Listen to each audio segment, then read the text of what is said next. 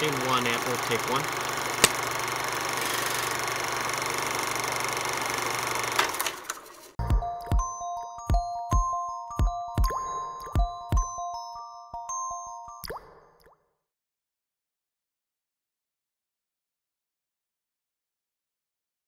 We know the Earth is warming, but some places have warmed up faster than others. Our changing climate is often illustrated with maps like this one from NASA's Goddard Institute for Space Studies. But visual representations are not the only way we can chart the geography of global warming.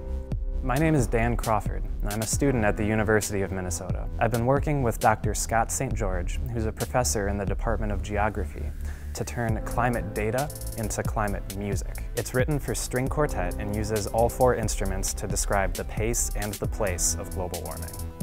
We've asked students from the University of Minnesota's School of Music to perform the piece, and also to help explain how we turned 135 years of thermometer measurements into music. The cello matches the temperature of the equatorial zone.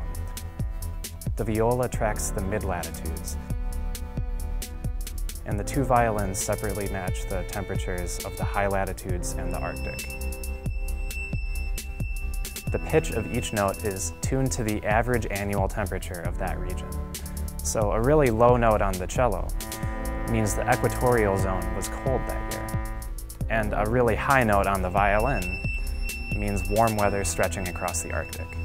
When we blend the four instruments, the four regions together, you're able to hear quite clearly how temperatures fluctuate across the globe, from the equator to the North Pole. And if we start the performance in 1880 and end at the present, you can hear how much temperatures have increased and what regions have warmed the most. This is our newest composition, Planetary Band's Warming World.